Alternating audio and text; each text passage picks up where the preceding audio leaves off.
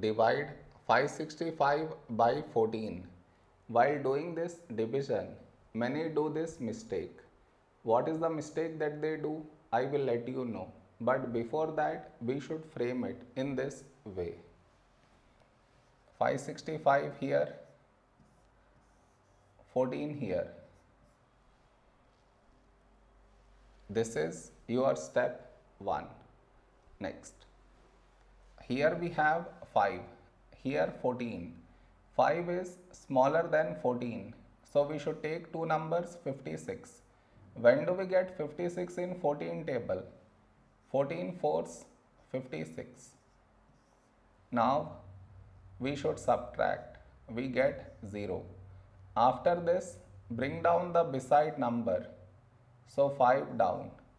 After this step the mistake happens and the mistake is this.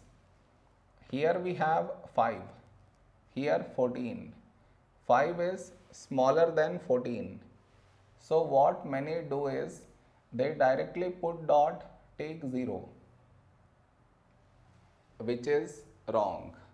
Why is it wrong? Because just now you brought this number down and in the same step you want to put dot take 0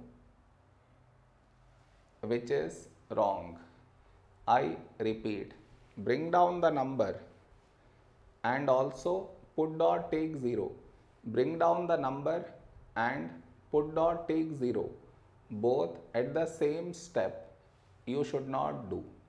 Instead of that what we should think of doing is which number should we take here?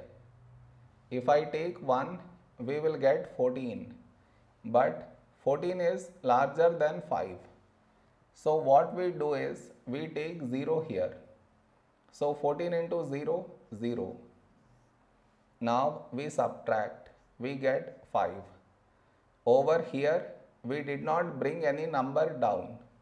And 5 smaller than 14 so now we can put dot and take 0 so 50, a number close to 50 in 14 table is 14 3s 42.